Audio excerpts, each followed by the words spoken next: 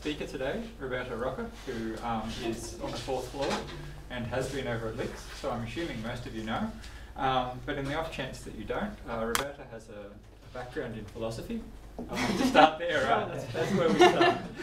I'm trying to hide this. But, uh, yeah, no, I'm Thanks not for bringing not it going to let you do that. uh, but in, probably more relevantly, a PhD in cognitive neuroscience with a focus on um, the semantics of spatial demonstratives, uh, which then led to a broadening out at uh, UT Austin doing machine learning on, um, on neuroimaging data, um, and more recently an internship with the UN and increasingly research in more applied topics, um, including um, focus on European identity and lots of other interesting things that are going to come up today. Um, so increasingly moving into the direction of large language models and NLP, Roberta seems to be able to span a very broad range of um, methods and topics um, um, within experimentation and data analysis and sort of nudging her more in the direction of theory. um, see how that goes. Um, but um, today we'll see um, how all of this comes together in this project, modeling individual traits using large language models. Thank you, Rebecca. Thanks, Josh. Hi, everyone. Um, thank you all for coming. Just as a disclaimer, there's going to be very little theory uh, today. Uh, so um, what I'm going to be talking about today are three studies um, that are sort of related um, in sort of two main respects. One is methods. Uh, most of these studies make use of large language models and especially transformers, but not only. Um, and they're also related um, in terms of content. So what these studies have in common is that they're, they try to look into ways in which we can use large language models to predict traits, uh, individual traits, when they're not known. Um, when I talk about individual traits, I'm sort of using a very, I'm, I'm, I'm sort of um, referring to something very general.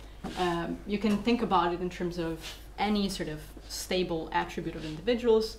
The first of these studies is going to look into, let's say, clinical traits. Uh, the last of these three studies is going to look into more uh, social or political traits of individuals.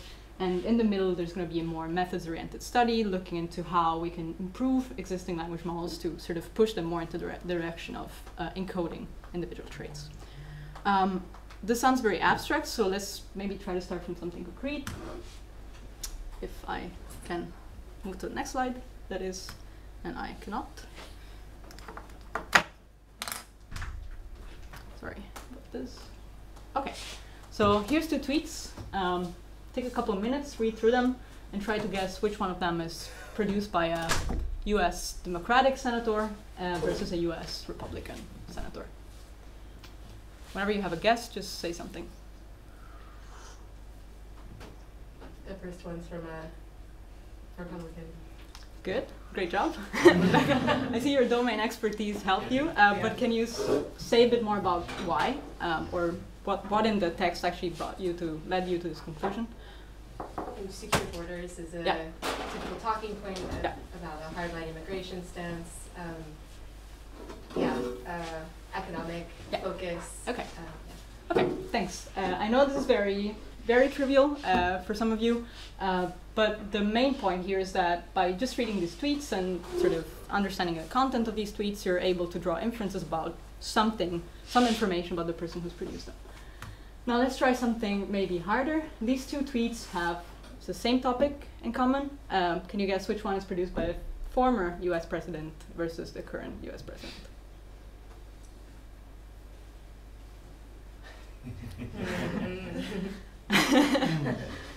Rebecca? uh, I'm gonna guess that's tweet number two. Former US president. Former okay, president. yeah. yeah. Okay, good. Right. So, um, any more details about how sort of we could say the topic is roughly the same, but there's maybe some differences in style, right? Uh, it's shorter. Um, yeah, it sort of has a different vibe to it, let's say, right? So I know this is very sort of trivial, very high level intro to the talk, but this is just to convey the point that by just reading some text, we're able to make inferences about the person who's written them. Um, maybe we could also, if we look at the previous one, we could also try to make some guesses about, okay, what's the gender of the person who's produced these tweets? Uh, we may be wrong. We may be applying some very sort of rough biases to, to make this kind of inference, but there's definitely ways in which we can try to predict some information about the person who's produced this kind of text. So this is what I mean when I talk about trying to predict individual traits uh, through linguistic behavior. So there's something about, some information about the person who's produced a, a given piece of text that sort of makes itself apparent or manifest in, in the content or the style of uh, the text that has been produced. When I talk about traits, um, again, I mentioned it's something that encompasses sort of several categories. Uh, there's studies showing that demographics can be inferred from text. Um, personality uh, information can also be um, sort of inferred from um, the content of what someone writes about, potentially also style. Uh, there are studies looking at specific clinical conditions and showing that clinical conditions have an impact in the kind of language we produce. And there's also studies looking at, for example, political affiliation, which is closer to the examples I, I showed before.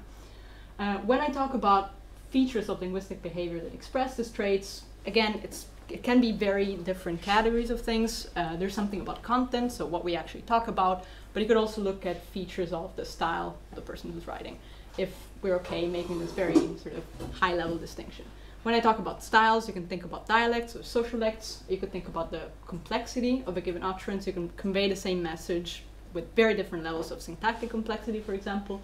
You can look at lexical choices, talking about the same things with different words and you can look at narrative styles, for example. These are just some examples of features that could describe individual differences in linguistic behavior.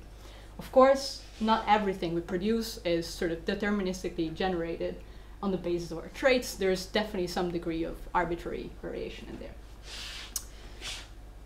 This is not a new thing um, in research. Uh, there's a lot of studies that have tried to map uh, specific traits of interest uh, to given markers in linguistic behavior. But the overwhelming majority of the literature focuses on this problem from one specific angle, namely trying to identify a number of like candidate markers of a given trait and then trying to map them onto that marker. You could say that on the basis of a distinction that has been sort of is becoming increasingly important in the literature, this is an approach that's mostly based on explanation or mostly aims at sort of finding explanatory patterns in the data, but you could also flip this question and think about it in terms of prediction. Uh, what are these uh, the advantages of this kind of approach? The advantages is that they're simple, uh, so you definitely know what you're looking for. Uh, another advantage is that they're interpretable, so once you find an association, you feel like you know what you're talking about, uh, what kind of relations you've discovered in the data, but there's some downsides. So in some case, let's assume that we found uh, we found reliable associations between how many function words a given person uses and I don't know, a clinical condition, right? Is this enough to predict whether that person has a clinical that condition or not? Uh, so this is something that it's not guaranteed by finding statistical associations between uh, variables. Um, another downside is that, again, let's assume that you, you develop a great model that finds these associations. Can you take this model and reuse it for a different trait that's somewhat related, uh, but not entirely the same? And another question, which is dear to some of these people, or the people in the room, is even if you're able to do this, so actually predict something that's similar to the outcome you're looking for, but maybe slightly different, um, how can you be sure that you're not, not overfitting, for example, to specific types of discourse that you're looking for, right? So you try, you find this association in people's diaries or journals, uh, and then you try to predict this information based on people's tweets. Is this going to work? Probably not. So the question and the approach I'm gonna focus on in this talk is trying to sort of flip this question and think about it in a different and more general way in order to produce tools that are more scalable and hopefully more reliable, reliable when you think about applying them in the real world. And the question we're gonna ask is, can we train models that produce general representation of an individual based on the text that that individual has produced and that can be reused once trained on some uh, task to predict not just one, but multiple traits about that individual. Um, a little bit of a detour before we get into the studies. Um, the type of model I'm going to be talking a lot about is transformers, and transformers are um, sort of becoming the, yeah, sort of the single tool that people use in NLP. Uh, there's some good reasons to it. One of the reasons is that one of the beauty, uh, beautiful aspects of transformers is that it can take an input a given sentence or sequence of text and return representations of that text at different levels. So you can get both representations at the level of tokens and representations at the level of whole sequences. So it's a, you could say it's a multi-level uh, tool. Um, one other interesting aspect of it is that previous models kind of exclusively focused on some aspects of linguistic behavior. Some focus on semantics, like the meaning of words. Some focus on syntactic representations. Transformers have a mechanism called self-attention that allows the model to learn representations that take into account the relations between words in a sentence. So in a way, it's about the semantics of words, but it's also about semantics in context and therefore syntactic relations, for example. And then there's the third point I'm highlighting here. It's probably the most important of all. Namely, you can train these models on, you can use pre-trained models that have been trained on a lot of text using some very general language task like predict the next word, and you can just fine-tune very small parts of these models to perform any task that you can frame in terms of a predictive task, for example, a classification task or a regression task. So this is a principle called transfer learning, and that's really the power of these models. You can just take pre-trained models from a given repository, fine-tune some parts of them, and adapt them to the yeah, the kind of task you're trying to perform without having to spend the kind of computational power that Google has to spend on pre-training this model. So this is one of the beautiful things about them. As we'll see, this works very well in some context. It doesn't always work. So it's not just a guarantee for success. Okay, the three studies I'm going to be talking about um, sort of tackle these problems from three different perspectives. The first one is a study that looks at applications of these principles in a clinical setting or for a task that could potentially be used in clinical settings. So if we use these models, can we, uh, for example, transform models and compare them to performance of traditional machine learning models? Can we predict clinically relevant attributes of a given person based on text? And the idea is that, well, if we can do it, that's great. If we can scale this to predicting traits or more transient uh, characteristics of people, that is something that could be very helpful in a clinical setting. The second study uh, conceptually follows from the first one. Okay, we'll find out that we can do it to some extent, but it's not great, and there's definitely ways in which we can improve performance of our models. One of the ways is thinking about using better models as starting point. So how can we actually think about pre-training models uh, that are better starting points for individual trait research? Um, and when I talk about better methods, I think I'm, I'm, thinking about something that can do it more accurately, of course, but also more efficiently. So without having sort of potentially having to train our final model less. And I'm also thinking about low resource contexts. So contexts like clinical settings where you're not going to have data from 30,000 participants, you're probably going to have data from 10, I don't know, dozens or hundreds of participants. And then the third study is just it's just going to be a very broad overview of applications of the same principles in a political science setting. So uh, what we're going to be looking at there is can we predict different uh, markers of political identity? And when I talk about political identity, I mean people's feeling of national and transnational belonging based on what they write. Let's start from the first study. I probably got the affiliations wrong, but this is a study uh, I've been working on with Lasse and Ricardo over there. Um, it's a fun study where we try to figure out if we can predict clinical diagnosis from language that people have produced in the context of a cognitive task. Uh, we focus on different contrasts um, between uh, three dimensions mainly. One is how well can we predict clinical diagnosis based on text, so transcriptions of what, what people have said, uh, versus audio, so not transcriptions, but the speech signal. Uh, the second contrast is looking at traditional feature-based approaches, so actually taking, for example, text, turning it into some uh, semantic representation, for example, and feeding it to a classifier, versus using transformers, so skipping the sort of make having to make decision on how we turn text into features and just feeding the text to a transformer, fine-tuning the transformers, and see how, how these models do. And most importantly, the third contrast is uh, a contrast between looking at predicting di diagnosis in a binary setting, so just trying to predict whether a person has a given diagnosis, say major depressive disorder, versus predicting whether that person is a control. This is the way these kind of problems are generally framed in the literature, uh, but these are not really good sort of ways to mimic naturalistic decision making in this domain, right? So when you see, when you when you talk to a patient, you're probably gonna have to figure out not simply if that person has depression or not, but what diagnosis among a range of possibilities does that person have. So what happens if we take these problems and stay, scale them to multi-class settings? So instead of having to predict control versus something else, we predict control versus three different diagnoses. Some information about the task. Uh, so we're working with data from a few hundred participants. Uh, there's three clinical groups, ASD, major depressive disorder, and schizophrenia, and we have match controls for each of the groups. Uh, participants are uh, performing, when I, when I mention the cognitive task participant performing is something that some of you may be familiar with, and that is retelling what's happening in videos showing triangles doing something. So it's the animated triangles task. Uh, here I'm only showing two conditions, but there's three as far as I remember. Uh, in one of them, triangles are just like drifting randomly. In the other one, they're moving in sync. In the third condition that's not shown here, they sort of seem to be doing something together. So there's some degree of intentionality there. So participants see these videos and they retell them. Uh, and what we're working with is transcripts of um, these retellings on one hand and uh, the speech signal, so auditory signal, so the actual recordings in a sense. Cool.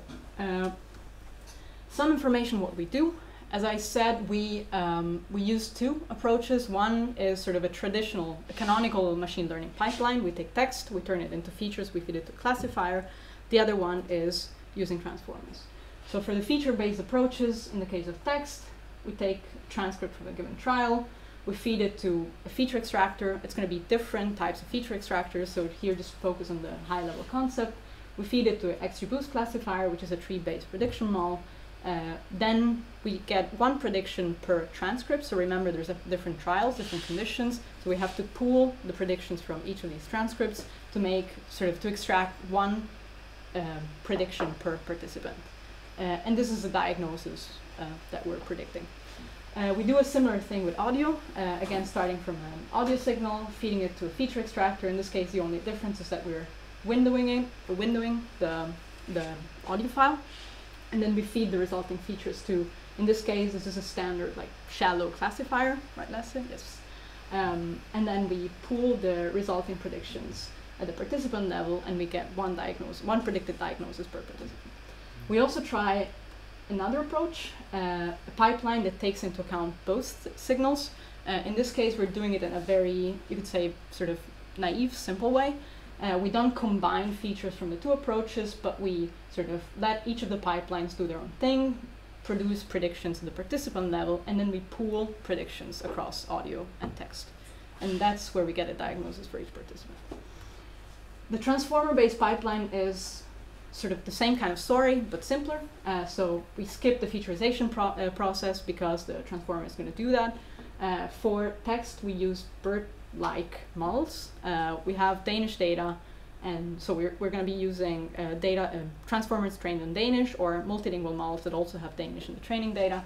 And for audio, we use a Wav2Vec model, a multilingual Wav2Vec model. Um, Yes, and it's the same story again for the ensemble pipeline. We let each of the pipelines do their own thing, produce predictions, and then we pull the predictions and, and get a diagnosis. Cool.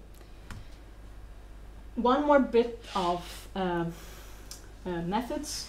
Um, I mentioned that for feature extraction, we're using different uh, pipelines. We're actually fitting quite a few different models. There's one block of features uh, that are sort of simple descriptives, uh, sort of descriptives of, of uh, different characteristics of, of text. Some of them are very general descriptors like the length of a sentence, the number of unique tokens, the number of sentences. Uh, then we have readability index indices. Uh, we use measures of syntactic complexity and then sentiment. And uh, these are beautifully and simply extracted using these two libraries, Text Descriptives, that's Lasse's library, and DaCy, which is a library developed by CH CHCAA. Um, so uh, if you're using, yeah, if you're working with NLP in Danish, these are wonderful resources to check out. Uh, for each of these, we fit both models using every single feature in isolation and models using all the features together.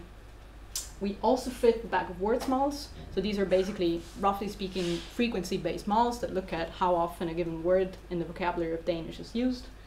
Uh, we also use static embeddings, fast text embeddings, And then, as I mentioned, we have transformers, uh, and we use both uh, Danish-only MALs, so unilingual Danish MALs such as Electra, and multilingual uh, MALs uh, such as ScandiBERT. For audio, uh, we have sort of three standard audio feature sets, uh, eGeMAPS, compare, and MFCCs. Uh, and in terms of more complex deep learning pipelines, we use this X-Vector MAL developed by uh, SpeechBrain, which is a speaker recognition model. So it's a model that's pre-trained on predicting or taking a corpus of text and learning to identify who's speaking at a given time. And then we use Wav2Vec model, which is on the other hand a speech recognition model, so something that takes audio as an input and tries to transcribe that input. And the checkpoint we're starting from is a multilingual model called XLSR, as far as I remember. Good, excellent. Cool. So what do we get? Let's start from the bigger picture. These are, for each of the groups, the five best models. Um, so let's start from binary performance. Binary performance is what we just feed the model um, data from, for example, depressed patients and match controls, and we ask them all to predict uh, who's who, basically. And the kind of performance we get is very nice, especially with transformers for some diagnosis, depression, we get to 0.9 F1 score, which is great. Um, it's less great for ASD. This is actually a sort of a conservative dummy baseline that's just a model predicting control all the time. Um, and for schizophrenia, it seems like transformers are not helping that much. What happens if we look at multi-class performance? Uh, so these scores here for each diagnosis are basically the equivalent of binary scores, but in, in the multi-class setting. So we're just taking all the depressed patients and trying to see how often does the model correctly identify them compared to all controls in the data set. Um, so not just match controls. Um, as you can see, performance is quite a bit lower. Uh, it's definitely not something that you would, would want to use in any context where there's real consequences to what you're doing. Um, transformers help for some diagnoses, they don't for others. They're actually pretty detrimental for schizophrenia. And what happens when you look at overall performance, so just how well does the model do in predicting each individual class in a multi-class setting? Well, it's doing pretty well considering that the task is hard, but it's definitely not comparable to binary performance. Um, so here we're talking about 0.5 uh, uh, F1 score for the best models. Um, this is not great. Um, it's okay, but it just tells you that um, the kind of models, the kind of problem that we're tackling when we look at binary prediction is not ideal if we want to think about generalization. So the models that we're training are not specifically picking up on mark are probably not specifically picking up on markers of a specific diagnosis, but they're just trying to distinguish. Okay, does this person have a sort of normal pattern or not, potentially? Um, so right, and here transformers are helping, mm, not that much. Uh, this just zooms in uh, into the best uh, models we get in the multi-class setting and in the sort of overall prediction setting. The best model is an ensemble model, uh, which takes the two best baseline models. Here, baseline just means the sort of traditional feature-based approaches. Uh, that's the best model we get. Uh, X-Vector is the second best. TF-IDF, simple, very simple TF-IDF model, does even better. well, does even better than any text transformer. And then we get all the sort of um, happy bunch of transformers after that. Uh, so with this data, in this context, transformers are not that helpful. Now you can ask, of course, as you can see, there's a lot of overfitting here. So the extent to which you want to trust this data is very limited. And then you may want to ask yourself questions like, okay, TF, simple TF-IDF models may be doing very well because it's picking up on specific words that are very relevant to this task what happens if I take this model and take it and, and use it in a context where people are talking about something else? Is it going to work or is it going to be completely random? Um, what, so one of the interesting bits of information here is that the ensemble model does best. And this means that it's probably learning to pool useful information, useful distinct information that each of the audio and text models pick up on, and then combine that in a useful way. And this is also something that you see if you look at confusion matrices, the error patterns of the two best baselines are actually fairly different. Um, so you can see, for example, the text model is great at predicting depression, the audio model kind of doesn't really work. It's sort of predicting half of them correctly and it's doing something else. So apparently pooling these models together is doing something good for predictive performance.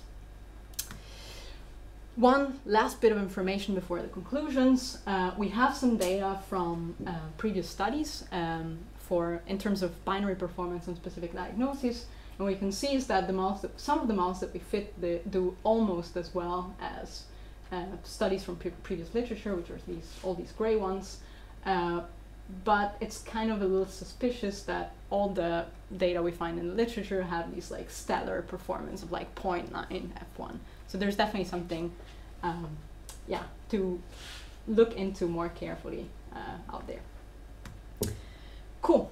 Some conclusions. So we've learned that we can do pretty, we can do okay on multi-class classification, but it's definitely not something that you would really want to use in the real world. So what do we need to improve this?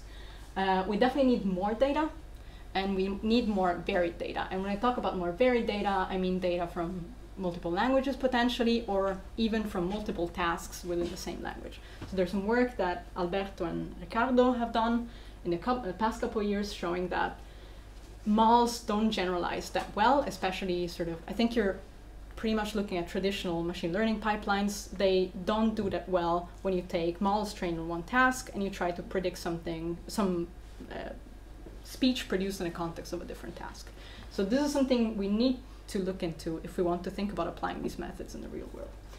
Uh, we can think, we can improve the kind of predictive setup we're using. Um, so here we have multiple trials from the same participant, but we're only performing one, we're performing we're asking the model to perform one prediction per uh, task, so per utterance, right? On the other hand, there's probably some interesting information that you can uh, extract or leverage if you use all the utterances from a given person in a model. The reason why you cannot do that is that models, transformer pipelines, for example, they have a limited length, so you need to think about smarter pooling mechanisms that you need to introduce in the model architecture if you want to do this. Um, we can also sort of in the long term, we can think about tasks that are more uh, useful than predicting diagnosis. This is something we can do as humans, but what we cannot do, for example, is trying to predict behavior or transient states. Uh, and this is a way we can scale these techniques to become something interesting and relevant, uh, sort of from a societal point of view. And then there's a fourth thing that we can do, uh, which is the lead up to the next study, and it's something I'm especially interested in. Well, for transformers, we're starting from models that are pre-trained on general language tasks. So predict the next word, or in this case, predict a missing word in a sentence. Can we do something to, can we start from better uh, sort of starting models? Can we fine-tune models on tasks that are closer to what we want to do, but not specific uh, to the clinical domain? So the idea here is, can we take a large language model, think about a task which is sort of not using clinical data and pre-train that or further pre-train that model in that task, which pushes the model in a more interesting space uh, for us, and then use this data for clinical tasks. We're never going to have enough data to train good generalizable models for clinical data, but can we do it in a smarter way? Can we use data that already exists to do something that's going to have downstream benefits on clinical tasks? So this is what we try to do in uh, this second study. Uh, the second study is a study of um, is work I've been doing with Tal Yarkoni at UT Austin. Um, and it looks into trying to use language models to develop what we call a generalizable author encoder based on available data. So it's basically a model that, that takes some text as an input and it outputs a representation of that text that encodes some relevant information about the author of that text. This could be used downstream to identify that author, and this is probably something we don't want to have in some scenarios, but it could also be used to predict traits. Uh, and potentially it has applications in tasks that are relevant within the NLP community, such as so-called contextualized NLP. So the idea is task where you take a given standard representation of a sentence, you add the representation of a higher level piece of context, in this case the author, and you hope that the predictions that you're making, for example, classifying if that bit of text is irony or not, is going to be better if you add this information.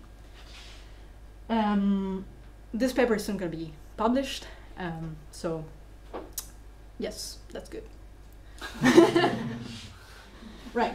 So, what is the why is this a challenging problem?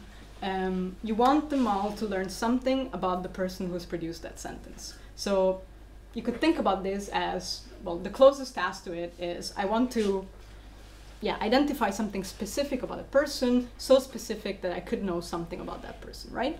Uh, but this is a very bad way of thinking about this problem from a machine learning perspective because framed this way, it sounds like a classification task. I get a data set with text from Arnaud and Rebecca and Ricardo and me, and I want to teach them all to recognize who's produced what.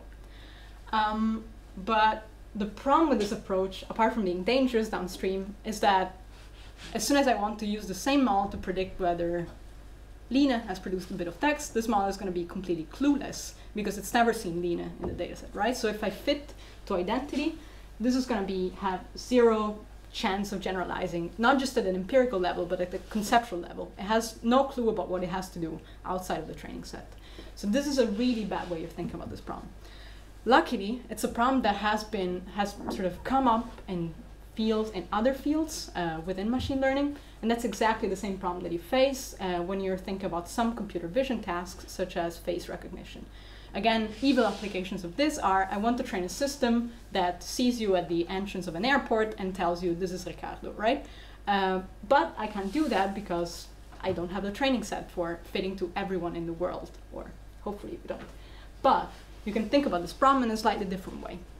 And the way this problem has been solved in computer vision is by coming up with a smart uh, so-called contrastive uh, training task, which works the following way. So the model is trained by feeding in a triplet of inputs. It's like three images of a given, of three images of faces. Two of these images are selected such that they come from the same person, and these are called an anchor and a positive example, and the third image is a negative example, so a face of a different person. The model sees these images, it does something funny with a convolutional neural network, it flattens the representation at the end, and you get some sort of vector representation of a given face. So now we have three vector representations. What does the model do? It computes the distance between the cosine distance, or the Euclidean distance between these two representations and between these two, and the model is optimized for producing representations of these two, which are more similar than this one is to this one. So you're basically trying to optimize the model for producing representations that are closer in representational space if the faces come from the same person, and they're further away in representational space if they come from different person, person people. Right, so this is the setup. Uh, the loss you use here is called triplet loss, uh, and this is the triplet. We just take this approach and translate it to um, an NLP setup. So what we do is that we feed them all with three bits of text, uh, an anchor. In this case, in some of the setups we use, it's actually multiple pieces of text as an anchor. We use a positive example, we take a negative example.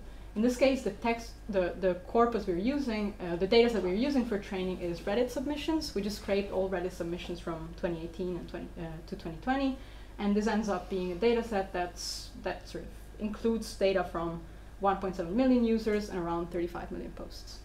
Uh, we feed this, um, this data to a, an encoder, a DistilBERT encoder in this case, so a small transformer model. We get some vector representation of all of this, and then we, these representations are basically positions of these posts in space, and that we optimize the models such that the distance between encodings of the anchor and of the positive example are closer than encodings of the anchor and the negative example. And then we compute the loss based on that and we update the model. So same setup as face recognition, just applied to an NLP setting and with two different manipulations. So in one case, we only use one post as an anchor. In, an in another case, we use up to 10 posts from the same person as an anchor, and then we average these representations, and then we see what happens. Okay, so what happens if we do this? Let's first look at performance uh, on this task, which is not terribly useful. Uh, it's just a way to sort of make sure that the model is learning something. So the scary thing here just basically means that we evaluate the model by saying that it's done correctly, so one. If, for a given example, the distance between anchor and positive example is lower than the distance between anchor and negative example. And it scores zero, so it's not a poor job if it does the opposite. Uh, this is one epoch of training on the whole data set, and the model goes from a starting performance of around 0.60 something, 68 maybe, to 0.84-ish in one epoch of training. If you train more, it overfits, so we don't, don't do that. And this is when you use a single anchor. When you use multiple anchors, it starts from 0.70 something, it gets to around 0.93. So it's learning to do something. This is way better than the pre-trained model. It's also way better than any vanilla baseline, so feature-based baseline we could come up with. Okay, but this tells us it's doing good on this task. This is not necessarily use useful in other tasks. Uh, so let's take a step back and try to understand what is the model doing. Is it just trying to figure out if I'm using the word, I don't know, Denmark and trying to see if that word is in both posts and just overfitting to that, or is it doing something more complex? The way we try to infer that from the data is by looking at how the performance of the models change as a function of the length of a post. If you have longer posts, there are more chances that there's going to be some semantic overlap or some specific word being used as a marker of who you are uh, versus uh, sort of if that is if model's performance is independent from length. And what we see is that when you use a single anchor, performance actually grows as the number of tokens in the anchor grows. So if you're training on a single post, it's sort of trying to cheat its way through the task. If you don't, uh, so if you train on multiple posts, model performance is pretty stable uh, across token lengths. So we interpret this as saying that the model being less sensitive to length means that it's not overfitting to specific markers, so hopefully it'll generalize better. How about uh, comparing whether the model is using, using semantics versus style? Uh, so we compare um, we compare performance of the models for examples where the positive example comes from the same subreddit as the anchor to, to examples where this is not the case. So the idea is that a subreddit is basically a commun community based on a certain topic. Um, if the two posts come from the same community, they're probably going to be talking about similar things. Things, sort of posts taken from different subreddits are probably going to deal with uh, different topics. So you can see that uh, this is the model trained on one anchor, this is the model trained on 10, uh, up, up to 10 anchors, and this is what we want to look at. So the fine-tuned models, the one anchor, single anchor model is pretty sensitive to this, although not catastrophically, and still less than the pre-trained model, whereas the multi-anchor model doesn't really care uh, about overlap. So it's probably learning to find heuristics that are more robust. And finally, my favorite bit, what is the model actually learning? Can we try to find a way to figure out which words is the model paying attention to? Of course, we know that words are not everything. It's also probably fitting to syntax, but can we compare the kind of words that get most attention in the fine-tuned model versus words that get sort of, can we identify words that take consistently take more attention in the fine-tuned models versus the pre-trained model. Uh, as you can see, the 10 anchor model comes up with a pretty interesting set of words uh, very sort of psychologically intense. You have obsessed here, desperately here, gambling here. There's there's quite a lot of stuff here. Uh, yeah. So there there's something interesting there. If you look at the one anchor model, there's nothing as crazy, but there seem to be words words that are somewhat could somewhat be interpreted as markers of uh, demographics, for example. Uh, so something some markers of gender. We have husband here. And some markers of age uh, and sort of a range of things that seem to sort of could be indicators uh, or heuristics to find out which demographics does a person belong to. Of course, this is all storytelling. Uh, this is all like we're finding some patterns and trying to interpret that, but it seems to show something different, and especially the differences between models are fairly exciting to me. And then, last bit of information about this study can we finally test if this is helpful in other tasks than just distinguishing these two bits of text and figuring out who's produced what? Um, the problem with this is that what you would ideally want to do is take this model and test if you can predict traits um, of the authors. But the data we use don't have labels for traits. So how can we build a task that is new uh, but does not require labeled data? So what we do here is the following. We freeze them all. We put a classifier head on top of them all. And what we try to do is feed them all a post from a given user, Ricardo again. And then this post come from, I don't know, a subreddit about football that Ricardo is notoriously interested in.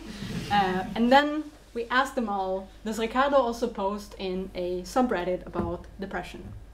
So there's no relation between the subreddits. It's just all that has all this has in common is the fact that it's Ricardo producing this. how well do the models do in these tasks for a range of different target subreddits compared with pre-trained models. And the beautiful thing is that they do quite better, quite a lot better. So this is the best vanilla baseline performances for each of the target subreddits. This is the pre-trained model, so we, without we before we actually do anything, and this is the fine-tuned models. So our models after training. So you can see that classification performance goes up. It does not go up sort of like crazy, but it's also pretty difficult task. And arguably, the pre-trained models also know something about sort of individual traits to start with.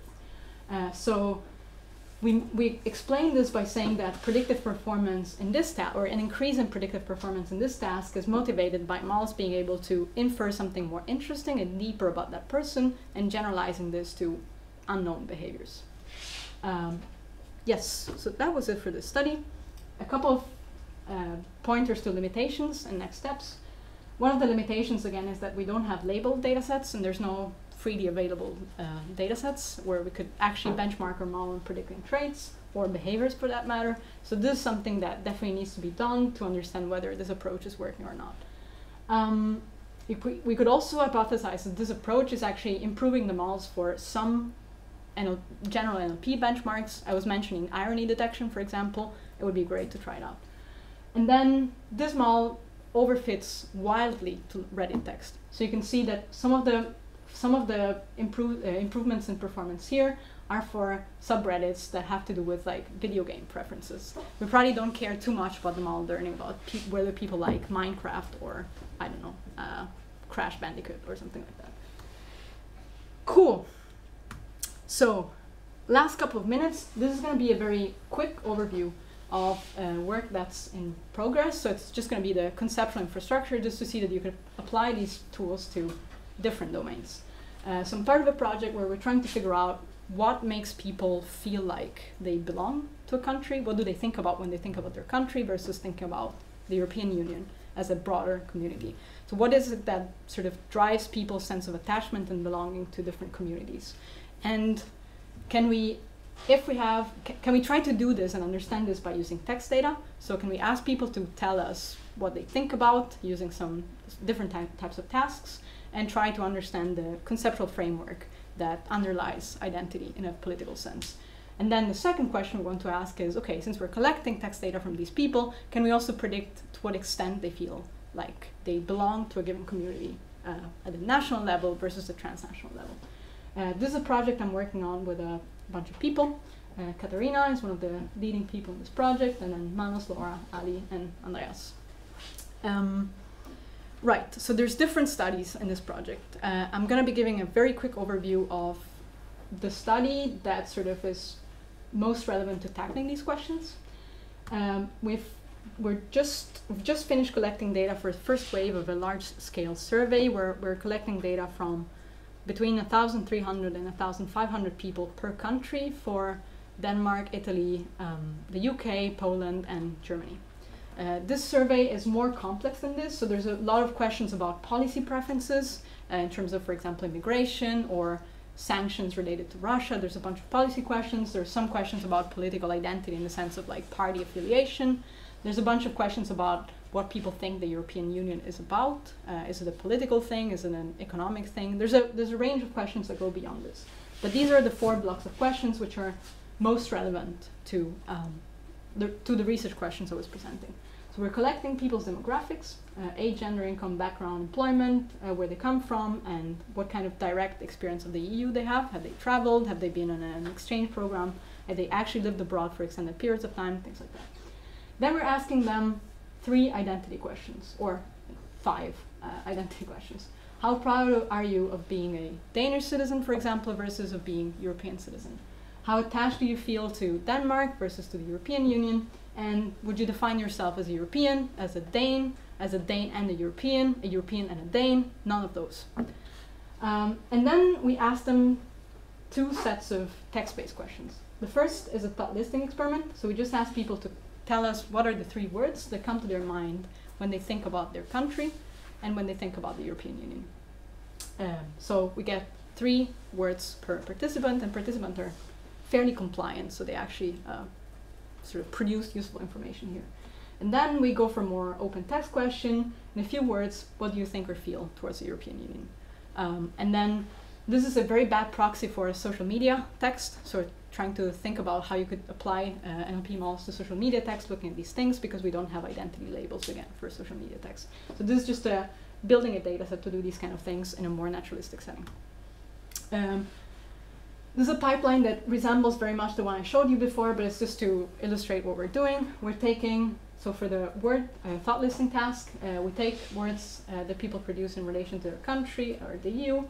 We vectorize them using standard uh, static word2vec models. Uh, and then we're trying two approaches. One where we just keep the raw vectors. We feed this to a regression model, and we try to see how well this model does in predicting uh, identity scores. Um, and we do the same thing with dimensionality reduction. So we basically play, take the word vectors, we reduce dimensions, hoping that this compresses them into a space that is more relevant to this task and therefore more interpretable. Uh, we feed this to a tree-based regression, and then we both look at predictive performance, but also at feature importance for each of these, um, these dimensions.